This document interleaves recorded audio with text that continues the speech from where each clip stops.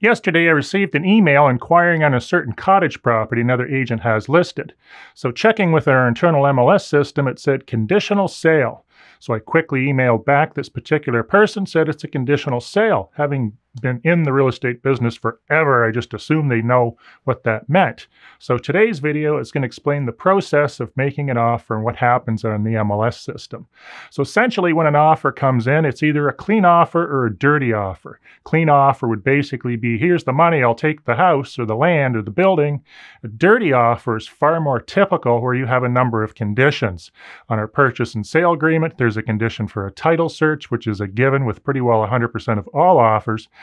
On the affixed Schedule A, it has a number of conditions or contingencies. Those contingencies are paragraph one, going by memory, is financing. Typically, that would be seven to 10 days. Number two, home inspection, typically about the same time allotment. Number three would be for insurance, whether they can get it insured. Typically, that's not a problem unless there's wood stoves or exposed styrofoam in the basement, among other things. Number four is inspecting the oil tank to make sure they will still insure it. A lot of insurance companies will not insure metal tanks, either single or double well, and they're traversing over towards fiberglass. Number five is the condition to sell a house. If you have a property to sell before you buy this. Six is the water test, which is typically provided by the vendor for both bacteria and chemical.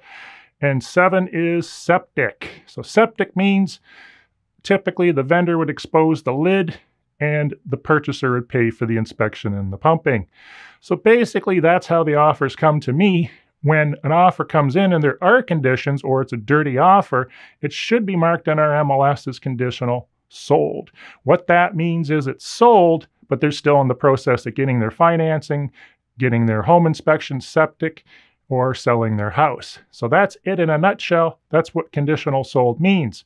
There's basically only four statuses we can have active, expired, sold, withdrawn, or canceled. The latter two, nobody has any idea what the difference between withdrawn and canceled is.